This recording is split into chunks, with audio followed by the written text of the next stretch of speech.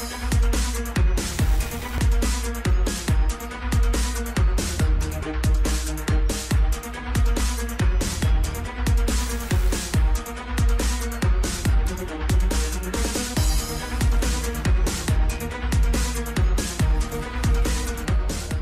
respecto a las semillas, eh, hay un oligopolio importante y fundamentalmente transnacional.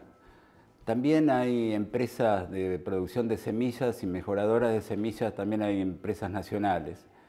Eh, pero fundamentalmente esas semillas están pensadas justamente para mejorar eh, la calidad en términos de exportación con destinos a, otros países, fundamentalmente las semillas principales de uso animal, por ejemplo, eh, el maíz, la soja, el sorgo, el algodón también, no están priorizando las semillas que nosotros podríamos utilizar para la producción de alimentos. Por ejemplo, en el caso de Argentina, el trigo ha mermado mucho en su producción.